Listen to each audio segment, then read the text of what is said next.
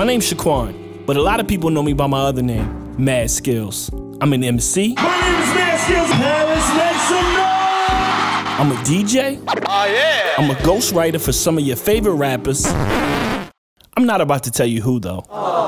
But most importantly, I'm a hip hop enthusiast. Hip Hop Confessions is raw, unfiltered conversations with my friends revealing things that they didn't like, never knew about, I don't know. or never got into about hip hop culture. So sit back, Oh, come on, y'all. turn up the volume, Hip hop. and listen to Hip Hop Confessions. Because everybody's got one. Here's a little story that must be told. And it goes a little something like this. Yo, what's up, world? It's your boy Mad Skillz, and we are back. This is my podcast, Hip Hop Confessions, where I get my friends and industry, you know, homies, you know, all of my folks, and I get them to reveal something hip hop related, an unpopular opinion, or a story, or something that they've never told anybody. This week's guest, I got one of my guys, man. I haven't seen this guy in years, but we we we traveled in a lot of the same circles, man big fan of him as a as a as an MC and definitely as a producer because the first time I heard of him he was rapping, you know what I'm saying? Definitely inspiring from where he came from to what he did. I'm I'm gonna let him get into all of that, but y'all already know what it is, man. My guy, my brother Ski Beatz on Hip Hop Confessions. What's good, bro? Skillz, what up, baby? Good to see you, man. Good to see you. Oh show. man, it's it's been a minute, man. Jesus. Yes, sir. Like how you been though? How, how you been? You been holding Oh, up listen. during all this crazy shit? Yeah, man. You know, I can't complain, man. You know, and if I did, it wouldn't change shit. You know what I mean? So right. That's right. keep it pushing, man. But damn, I ain't seen you since. Wow, it's been a minute, man. I just wanted to thank you for even pulling up. Oh man, yeah. Come on. When when when, when your partner hit me and said, "Yo, Skillz want to chop it up with you," I'm like, "Hell yeah, I got to. That's my boy. I ain't seen him in like forever since one of those new music seminar type of things Oh, back man, in like- NY. 30 years. Thirty years, bro. that was 93.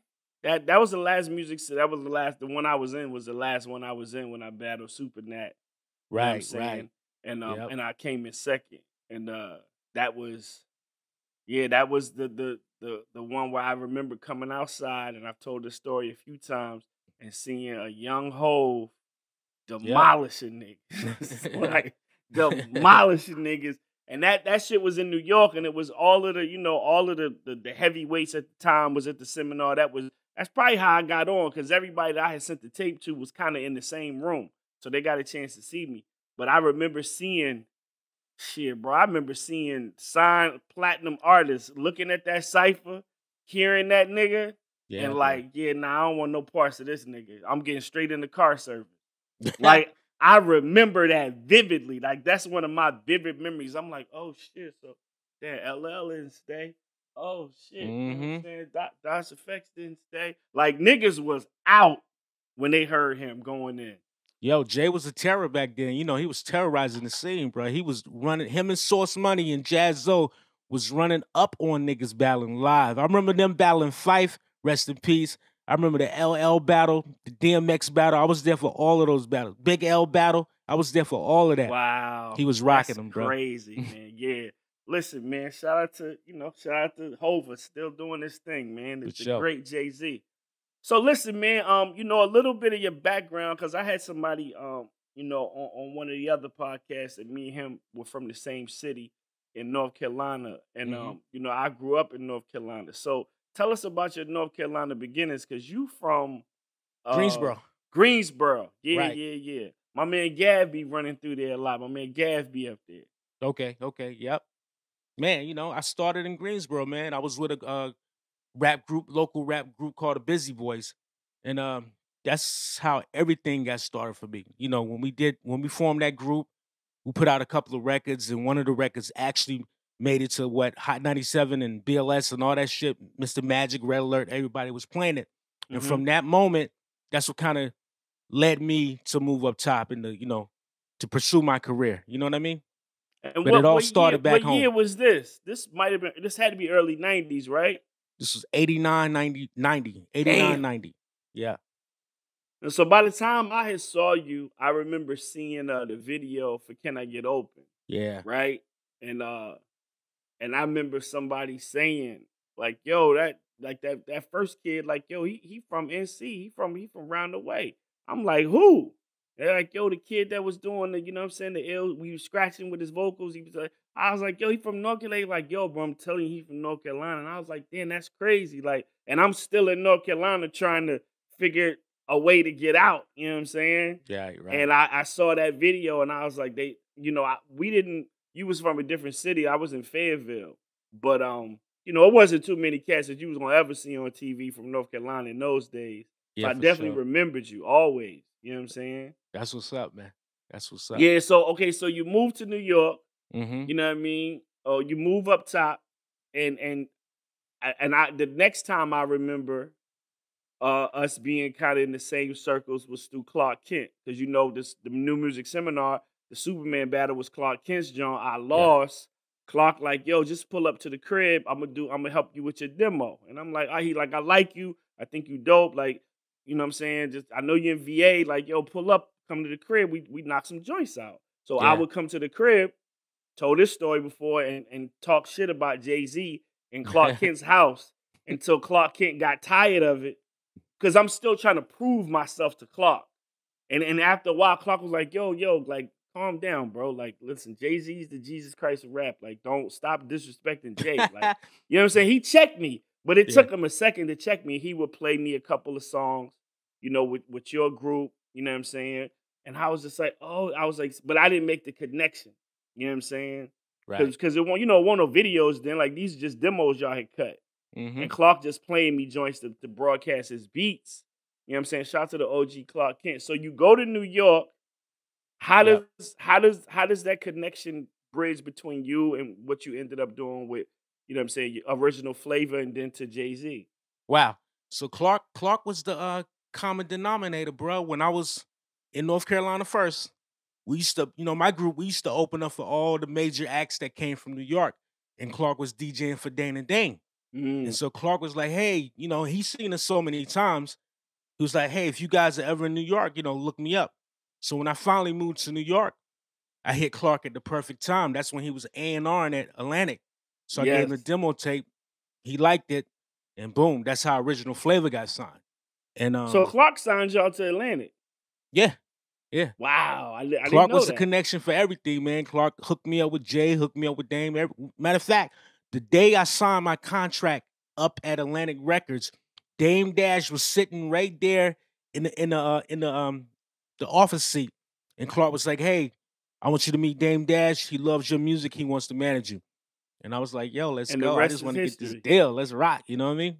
Right. That's Mhm. dope, man. Clark is Clark is the common denominator in so many people's stories just because he was he was talented and he saw things in people that we might not have seen in ourselves and he was good at connecting dots. yeah, man. You know what I'm saying? Like knowing like, yo, you should rock with yo, I know somebody I want you to meet. Like, you know what I'm saying? Like, yo, Mhm. yo, I got a homie that does da da da da da. Like, yo, you should meet him. Like, y'all, y'all niggas would the same way, you know, he connected Big and Jay and you know what I'm saying, like Dame and you. Like, shout out to the OG Clark Kent, man. Yes, one of the one of the most genuine people in the game, and you don't really run into people like him too often, man. Definitely, Changed changed a lot of our lives. definitely, definitely. You know what I'm saying? Damn. So you all right, so the original flavor, you do the original. Did y'all ever make an album or was it just like a single with, with Atlantic? Nah, we had two albums, and it was two different original flavors. When we when the original flavor first came out, I was with this kid named Suave, and then you know we had our little whatever, whatever. And then with Mhm. the second um reenactment of original flavor, I was with Tone Hooker, and that's you know people And know Chubby that original flavor. Yeah, Chubby Chub. Yeah. And um, but yeah, we had two albums, and uh, you know they both went like double wood, but it was fun. I had a good time. nah, man, listen, bro. Like in, in those days, man, you know, you had to get your feet wet and, Yeah. and realize what your what your sound was and, and how you was gonna move. And you know, so from that you you ended up producing on one of the most classic albums of all time. You know what I'm saying? I, I would be remiss not to talk about this album and and how it how it fucking impacted the culture and me. But you were on reasonable doubt. Like how many you had like four or five joints on there, right? Like yep, like five Tell- joints, I think. All right, so all right, let me ask y'all this because you know I, I I asked Clark this when I had him on the on the on the podcast, and me being a rapper, you know, it, it comes this point in time when you know we all in ciphers, we all spitting, we all hearing other rappers, and you know, still sharp and still. Mhm. But when did you realize that Jay Z was special as far as an MC concerned? When did when did you catch that? Like, oh, this guy different. Crazy that you asked me that. Um, Clark had brought Jay Z up to one of um our video shoots. I think we were shooting uh Here We Go. And um he wanted Dame to meet Jay because you know he wanted Dame to manage Jay. And um after the video shoot,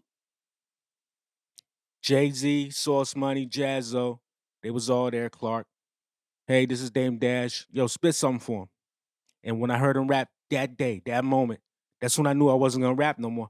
I'm like, yo, this boy right here is, you know, he was bananas. I mean, the the timing. It's like they like comedians, you know, they timing is so perfect. It just hits you perfect when them punchlines hit. You know what I mean? I'm like, Mhm. yo, these these niggas is crazy. And I just knew I wanted to like 100% just go ahead and just get in my production bag because I'm never going to be as nice as this dude. So let me get in my production bag and help him write a story, you know, with the with the music. But I knew that moment when I when he when him and Sauce and them, all of them. Right. Sauce, man, was Sauce nice. should have been, And you Sauce know, was nasty. what? Sauce, Sauce, was, out of control, bruh. Yeah, Man, big is, shout out to Sauce? Money, Yeah, man. That's Sauce my guy too. listen. He- Yeah, He's wild. Sauce motherfucking. You know what I'm saying? Jazzo Like, too, man. You know, Jazzo was a king. You know, he was the Yeah. father of both them dudes. You know what I mean? yeah. They Yeah, just had that me, skill. You know, Huh? like I said, when I would go to Clark's crib, um, you know, I like I said, I was trying to I came in second in the battle, so I took a L, but this guy has taken an interest in me and has let me come to his house and work and stay. And I'm still trying to prove to him that I'm, I'm you know, I'm worthy of this. So I'm talking cash shit, man. Yo, Clark, put me in the because I know he moving around with mad rappers. Uh, so I'm like, yo, put me in a room with anybody, Clark. I'll, yo, I'll, I'll demolish cash. So he like, yo, yeah, I got you. Like, da da da da da. Like, so I'm, I'm an eager MC trying to prove myself. And he was, Mhm. he would play me these songs by Jay, like songs to the, like I said, to this day, I've said this before. To this day, I've still never heard songs that were were were as impactful and great as he was. And I remember Clark played me a song called "What's in a Name." Yo. And I heard that record, and he was taking everybody's names and flipping them. And I remember one of the lines he was like, he said, "Oh Lord," he said, he said, "I LONS it when I when I bust text under pressure. I went to the head of the class, got an A plus from the large professor. Like, and I was like, yo, I was like, this nigga is, di-. and it, it, it was one of the illest songs. And and fast forward, this is probably my hip hop confession for the episode. Fast forward to to years later, right? I'm in the I'm in the record plant in LA. And um this might have been 2015, 2016, something like that. And I'm working with um another another artist at the time. And I go to the I go to the bathroom and I see Jay Z in the little game room. You know that little game room they got right there. I see Jay Z in the right in the game room playing Pac Man, just by himself. I go to the bathroom. I walk past him. I'm like, damn, was that Hov? You know what I'm saying? I'm in the bathroom, like washing my hands, It's like, damn, was that fucking Jay? You know what I'm saying? And this, he was working on. I think him and his wife were working on the Carter album, the the joint album that they did. Right. And I come back out and I look and I'm like, oh shit, it's Jay. And you know, I know, I, know Jay, so I walk in and shit. I'm like, I'm like, oh. He turned around, he like, oh shit, what's up? Like, what up, Skillz? I'm like, yo, what's up? I said, yo, what's up, man? How you been? He said, oh man, life is good, man. Can't complain. But he's still playing Pac-Man, right? He kind of looking at me, kind of looking at Pac-Man and shit. And um, I said, yo, man, I said, I ain't gonna hold you. I said, I, I know you in your zone. I said, I just got someone I want to tell you real quick. He was like, yeah, what's, of course, what's that? And I he he go back to playing Pac-Man. So I know I don't want to I don't want to be I don't want to be that nigga. But how many times you get to have a one-on-one with Hove real quick? Right. So I said, I said, yo, man, it's still this one song, bro, that Clark Kent played me in this basement. Eh, That that still blows my mind, bro, to this day. It's one of my favorite songs. I remember that shit verbatim. Like, and I only heard it once. And I said, and the shit was called What's in the Name? And he stopped playing Pac-Man. And he looked at me. And he said, Oh shit, you remember that? I said, nigga, I can't get it out of my head, nigga.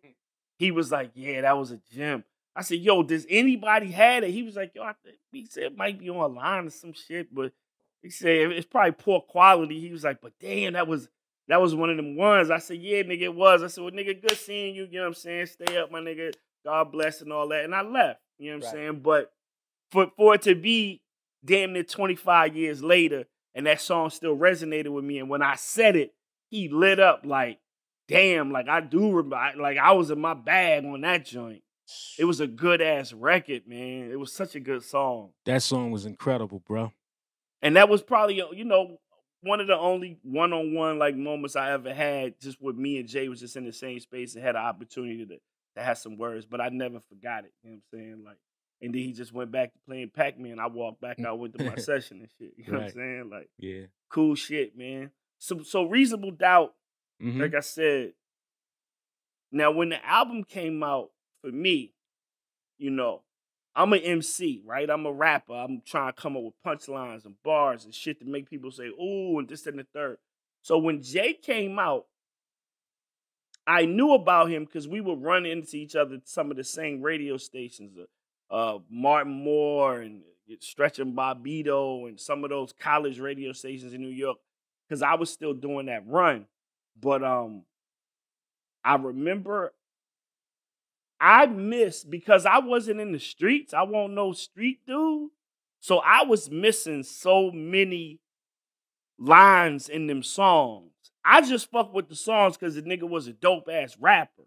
And nigga was saying shit like I keep one eye open like CBS and all this shit. In, in 90, I didn't know what the fuck a re-up was. And you know what I'm saying? I ain't know none of that shit then. I knew niggas that hustle, but I, I hadn't heard those terminologies yet. Right. So when I learned who he was really talking to in Reasonable Doubt, it made the whole album sound different. Because he Mhm. was talking to hustlers. Mhm. You know what I'm saying? Get, like niggas like get money, like I'm getting this money, and this is a lifestyle that I'm attracted to. I know I shouldn't be doing this shit, but I'm still fucking paranoid about this shit. Mm-hmm. That was the first time I heard a nigga rap about some shit in, in that kind of detail where it's like, I don't really want to be doing this shit. But I just couldn't believe that he was that nice and he was still doing it. It's crazy, man, because I don't know who pulled him to the side because obviously, you know, when Jay was when he was rhyming with us, he was on his fast flow. Yeah. But somebody pulled him to the side. Could have been B-High, could have been somebody, Tata, somebody, and told him like, "Yo, you need to rap about you know your life, what you're going through." Because I had no idea when I first met him that he was hustling. I didn't get exposed to that part of Jay until like maybe a year and a half after. I just remember going to VA, and and and you know he got this big ass house with all these vehicles, and all of a sudden chains and all you know crazy shit started coming out that I had no clue about and it just made all the sense in the world when you know I heard reasonable doubt and I heard how he just tamed his flow and he just got vivid, bruh. And it's like you know he was painting pictures with that shit. I don't know how he connected to it, but he just connected to that whatever that is as an MC, especially if you're storytelling and you're trying to you know convey that. And he just knew how to do that, man. And hustles, you know, he definitely wrote the fucking playbook right there. Reasonable Listen. Doubt is definitely the playbook for anybody who was hustling back then. You had to listen to the album to stay on point, really. You know what I mean? yeah. So many hidden gems and and and double entendres and mean? thing. And you know, in, in those in those days, you know, those type of albums they get overlooked to a certain degree. They don't get the you know the the, the, the millions millions of sales. There's not a lot of hype behind it. But then later on, Mm-hmm. you at, over time they you appreciate what they were. You know what I'm saying, and what that really was like. Because it's almost like going back and looking at a documentary, and you like, yo, I was around them times. Damn, I missed all of that. It's almost like a real life documentary. For sure. You know what I'm saying? Like Mm-hmm. just just the way he crafted it, and y'all gave him the sound. Y'all gave him the soundtrack to be himself and make that shit make sense, man. And y'all made something special, bro. Like that Nah. that album. Jesus. Appreciate it, man. Right. Appreciate it. I just wanted to get that out the way before we even dipped into your confession, man, because I'm a, you know I'm a fan, man. Like, you know what I mean. So so you you you knock out. I remember you did you did reasonable doubt. Rocket Block Productions is is was your um your tagline at the, at that time. And yeah, then you know come, what? When I was doing Reasonable Doubt, at the same time I did Uptown Saturday Night too, though. So, but nobody knew you was working on both of those at the same time. I mean, you know, Jay and Dame, but not the nobody else. Wow. hmm So how did you come across Camp Lo? Like, how did that even happen?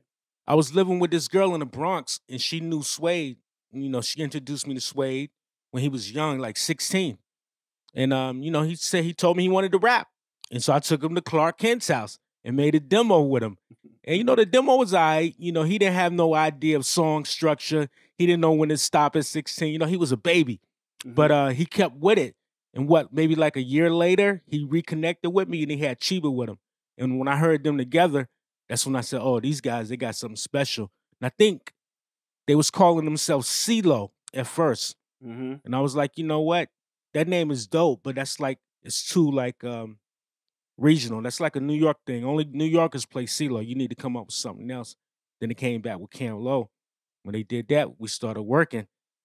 And they was in my crib, and Jay would come. I would do shit for Jay, and Low would leave. You know, it was like a revolving door. And it was dope, man. You know, sometimes Jay would hit beats. He was like, yo, who's that for? Camp Lo. And, you know, he'd be like, what the fuck? And then Camp Lo hit some shit I did for Jay. Like, Camp Lo heard politics and was mad. Like, yo, you get that nigga all the dope beats. So I had to redeem myself and make something sort of like politics. So I gave them Luchini. And when Jay heard that, he was like, yeah, that's crazy. You know what I mean? It was wild. Now, now I, I've always heard a rumor that Jay wanted Luchini, but you was like, you was like, nah, I can't hold. Like, Nah, nah, he nah, nah, nah. it. He, he he never wanted Luchini, but he he loved the record. You know, he loved it because he didn't hear it until after I recorded it with Lo, the vocals and everything. I didn't play him the beat and say, "Yo, check this out." If he would have heard that beat, you know, it might have been a problem. You feel me? But Right. um, after he heard it, he respected it. He loved it. You know, he said he wanted a beat like that. Obviously, you know. right, right, right. right. Mhm. Yeah, nah, like that was, yeah, man, that was, that was a, an, an amazing record and still amazing time. That record still go up to this day. You know what I'm saying? Um, the way you, the way you caught that, the way they flowed on it, and they were always like so eccentric and and and abstract with their rhymes. You know what I'm saying? Like Right. it sounded like they was fucking just pulling words from everywhere. You know what I'm It- saying? Like, They were true to form because they was like that in real life. When you met them, they dress crazy. oh, oh, talk- nigga, Yeah. oh. Go ahead. Oh no, hold on. Before I before you even go there, nigga, Uh-huh. I remember, I'll never forget Howard Homecoming, right? I'm with Kid Capri. Mm-hmm. Kid Capri got a party and the shit got shut down and Kid Capri had a tour bus. So we outside the tour bus, me, Kid Capri, my man Iron, who's super big fans of Camp Lo, and Camp Lo walk up. You know what I'm saying? Like they just and it's the it's kind of like the let out. So we just watching girls come out the club, Right. cats trying to holler, trying to figure out where we gonna go to next. Is it the after hours or whatever? Right? So I'm Mhm. standing there. Kid Capri is talking to the, both of them. They they was super cool at the time. And you know, we kind of just figuring out what we gonna do. And I hear, I hear uh the one, whoever it is to keep the toothpick, Sonny Cheeba. Cheeba, yeah. Cheeba looks at Kid Capri, looks at me, and he goes, All right, I'm about to split, Jack. And gave Kid Capri a five and gave me a five. And I'm like, yo, these niggas really on this 70s shit. Mm-hmm. Like it would like everything he said during that conversation was like 70s slang. Like, like I think he called somebody a job turkey. Like it was like real. And I'm like, oh, they really on this. They and nigga, They it's really- 1990 something. Mm-hmm. And I'm like, I'm like, yo, that I'm like, I could dig it. You know what I'm saying? Like I says I say this. Like I can dig it. That nigga said I'm about to split, Jack. and rolled out with a chick. And I was just like, hey man, that's dope. You know what I'm saying? Like to live that shit. Like They That's was cheaper, really baby. living that shit. Mm-hmm. And and they were they from New York or were they from uh Carolina? Yeah, from the Bronx. From the Bronx. They Okay, both from, from the the- yeah. Bronx. Yep. Yeah, I could I could see that. Yeah, no, Mhm. shout out to Camp Lo, man. Y'all y'all definitely made a classic too. You know what I'm saying? Like the a, a company with the videos, um, you know, they made sure that they was represented in the right way. I I like nigga, I remember watching Rap City at home when the fucking video came on and then Swing came on Ooh. and fucking and Ish. it's listen, bro. Suede is rapping and fucking Ish takes the mask off. Because for that whole time, everybody was like, yo, they sound so much alike. They should do a song together. Like Yeah. this and the third. Like, who masterminded that? That was such a dope play to have them together. I don't know. I'm thinking. I'm thinking. Well, I know Suede, you know, big fan of Ish, and somehow he got in touch with Ish, and they did that record. But as far as the video, I don't know who put that together. But that was was- that was crazy. That was crazy, bro, that was bro. that was you had to be there. Like, what a time to be alive. That mm-hmm. was a moment. Mhm. That was such a fucking moment, man. They might have been the first fucking rap group to do some crazy shit like that. Yeah. back to back joints like that. Yeah, and then to like to to to link up with the person that everybody always wanted you to link up with, and it still never took nothing away from Camp Lo. And what Right. they the, the hook was dope. What they were saying was dope. Yeah, Like I'm I'm from New York, the illest of all places, and then that shit just went off. I'm like, yo, And what's crazy is Ish and Suede is t- still best friends to this day, man. They still in constant uh, contact with each other that's dope, man. That's off that record. That's crazy. That's fly, man. So Mhm. listen, all right. Well, listen, let's get into it, man. This is Hip Hop Confessions. You already know what it is. So Yep. we gonna go on records. You already know what it is. I need to know. Ski. Yeah. What is your hip hop confession? A hip hop confession, man. Well, listen. When I um first moved up top, when I first started my career before Jay Z, before Roc-A-Fella, before all that, I was uh with these two guys that own the record label, and we moved to Jersey. Mhm. And um while we in Jersey, you know, they got an apartment. What part of Jersey? hold- Uh, can't tell you that. Can't Okay. tell you that. I, I can't get too much away. I don't want to, you All right. know, because it's crazy. But anyhow, close, close to the city. Right. Close to the city. Hoboken, So, um, some shit, Jersey City, some shit like you know that. what I'm saying? That type, that type vibe.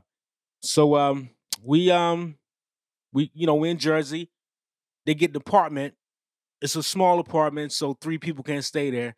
So they got me staying in the studio, which is fine, you know. I'm a I'm a studio rat, so it didn't mean anything. But while we in Jersey, you know, we meeting people in Jersey because you know we the new guys. So I meet this rapper from Mhm. Jersey who's super famous at the time, you know, and he lived right around the corner from the studio. So I'm hanging out with him almost every day. You know, he got a studio in his crib. I'm checking him out. And obviously, you know, me being around him, I'm meeting his management, his security, his dancers, his whole team. So I become cool with their whole little squad. And, you know, I'm the country boy from North Carolina that make Right. beats, trying to get on. So, you know, they embrace me. Right. So I'm cool with them. So what? A couple of months go by. You know, I'm in the studio one night, in the studio where I live, making a beat. I hear the, you know, the bell. Got a like surv- surveillance camera so I can see who's coming up. So I see it's um homie that's down with you know the rapper. I'm like, Mhm. okay, I know this kid, so I buzz him in. So he come up. I'm thinking he by himself, but when he come up, he got like two creepy looking people with him. You know what I'm saying? Two creepy Oh, looking shit. goons with him. Right. so I'm like, hmm, like instantly my energy is like, yo, what what the fuck is this? You know what I'm saying? Whatever. So I let him in, give him a pound, what's good? See his boys, give him a pound, what's good? I'm like, yo, hold on for a second. So I go into the back because I know I gotta call my partners because I ain't trying to, you know, go out with a bang. And I just, and you know, I ain't even started my career yet. right. So I call, call my man. But while I'm going for the phone, in the reflection, I see one of the, you know, one of the creeps. You know, he got the Desi, and he's like, you know, readjusting it in his waistline. Oh, like, oh shit, they got the pistol and everything. They trying to rob me. Whatever. So I, you know, I call my man, like, yo, you need to get up here real quick. I think these niggas trying to bam, bam, bam, bam. Hung up the phone. And mind you, he only lived like 15, you know, their apartment was like 15 minutes Right. away. right. All right, so the first thing I do, I got to get into full charismatic mode. I gotta be, you know, I gotta entertain these niggas. You know what I'm saying? Right. So I'm like, yo. So I walk in there. I'm like, what's up, my dude? Yo, have I seen you before? He's like, nah, homie, you ain't never seen me. I'm like, you don't rap? Nah, I don't rap. So I said, yo, check this beat out. So I played the beat, and he started nodding a little bit, and he started smiling because I know he liked that beat. And I'm like, Right. yo, you don't rap? I said, yo, let's try some. I said, yo, go in the booth real quick and say this. So I had, I was entertaining these motherfuckers. Right. Had him, had him doing a hook. Had his homeboy saying, "Yo, what you think about that?" He's like, "Yo, that sound dope." Then you know what I'm saying? And the, the security guy was looking at me like, "This nigga is finessing us right, like right in front of us." I'm Right. like, "Nah, nigga, I'm gonna hold y'all right here until my peoples come." And, Right. you know, lo and behold, I kept him entertained long enough. My man came up and everything was was good. Then the next day, I saw the security guy and I said, "Yo, bro, what was that all about?" Man, it wasn't nothing personal, man. You know, we was just trying to, you know, you know, we we you know, it's hard out here.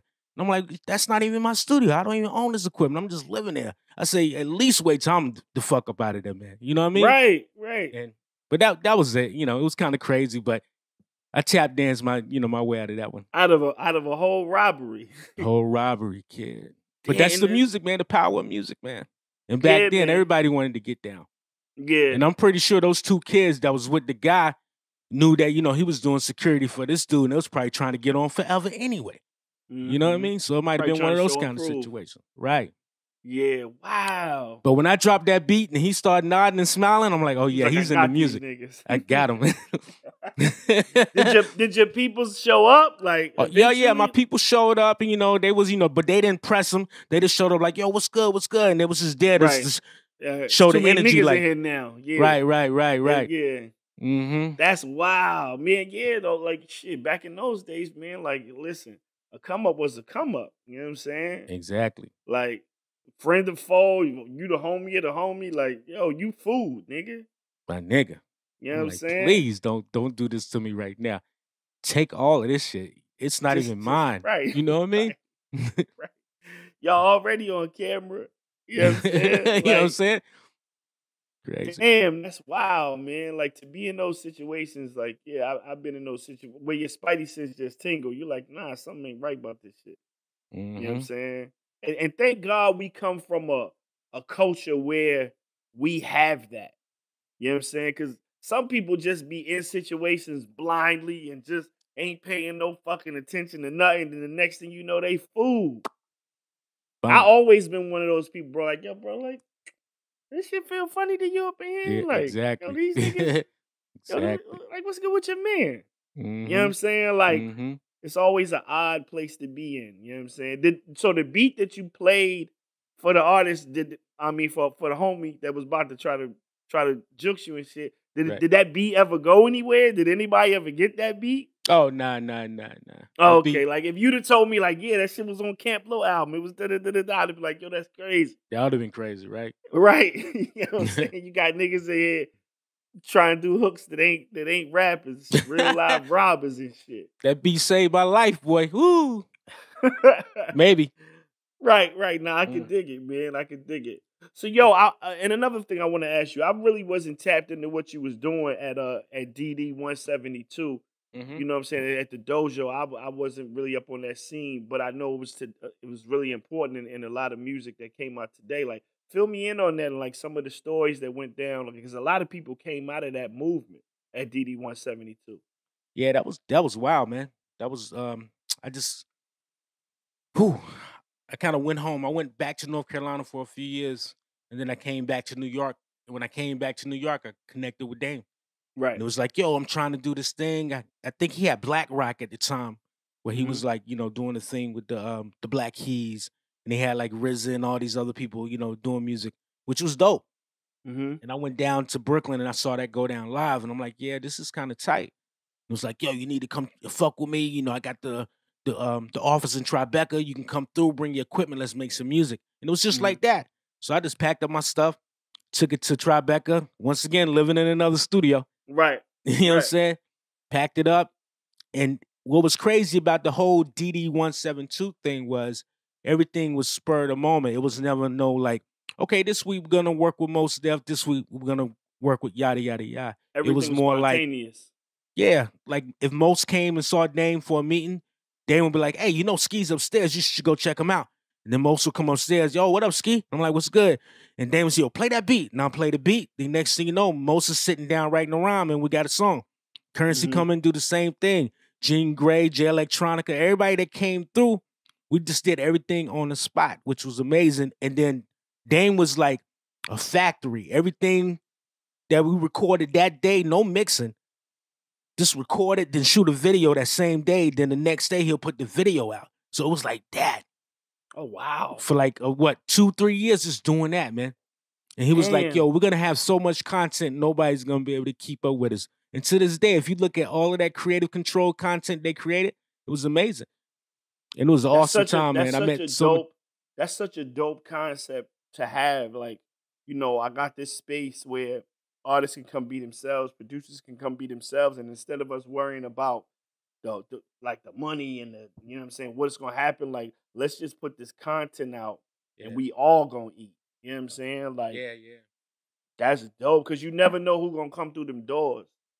You know, especially not especially fucking with Dame. Ain't no telling that nigga knew everybody. everybody came bruh from from from um Mayweather to Zoe Kravitz to Erykah Badu. I, so many people walked in that door, man, that I was trying to create music for. I mean, even motherfuckers that didn't rap or sing, he was like, "Yo, say something on the record." Dame was like Don King and everything, kid. Right. Crazy. That's dope, man. Like Mhm. I always wonder what that you know what that that process was like there because like you said it was a lot of content and, and y'all were putting it out at a, at a super rapid pace It was like it was Woodstock. quality. It was it was like Woodstock. It was like we was hippies. Cause think about it. Dame, all he was doing, that's when Dame was really heavy. He was smoking. All he was doing was just having mad weed around, mad creative people from video directors to artists to engineers to um to art gallery people. It was like Woodstock, man. It was like hippies. Literally. We we Right. never left that building. It was just always creative energy in that building, bro. It was amazing. You'd have loved that shit. You'd have had a ball. yeah nah listen i'm getting goosebumps just hearing about it it definitely sounded like a place that you know what i'm saying would have would have made some real live shit and y'all yeah, did y'all sure. made some classic shit wiz i remember wiz Curren$y Mhm. you know what i'm saying like a lot of shit came through there bro Mm-hmm. All right, well, well all right. So before I let you get out of here, because I don't want to hold you, but I, I, because I never had nobody on on my podcast that was even around in in this era. You know what I'm saying? But you were so close with Dame and Jay. You know what I'm saying? And you know what I'm saying? And Big. You were there at the beginning of that shit. So how how did it feel? you know, you being a producer and being so close to it, how did it feel when you saw it all crumble? You know what I'm saying? When you saw them go their separate ways and the company went to, you know, it it just wasn't what it was. And y'all were brotherhood, man. Like y'all, y'all were friends. It wasn't just like, yo, that's my man. We do business together. Y'all all came into the game getting money together, getting credit, getting on, getting famous, getting getting to the bag. Like, how did it feel to watch that disintegrate in the in the way that it did? Mm. Well, when all of that was going down, I was living in North Carolina.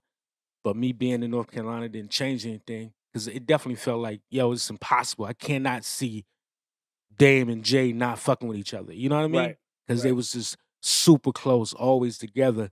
And it hurt me, you know, because, you know, th- that Roc-A-Fella legacy was, you know, was uh, to this day. You already know what it is. Yeah. But I know how it is with family members. You know, I got certain family members I don't talk to, you know, because time, you know what it does, man. I'm sure you got friends that you haven't spoke to in yeah. forever. Time just has a way of, you know, just doing what it does, man.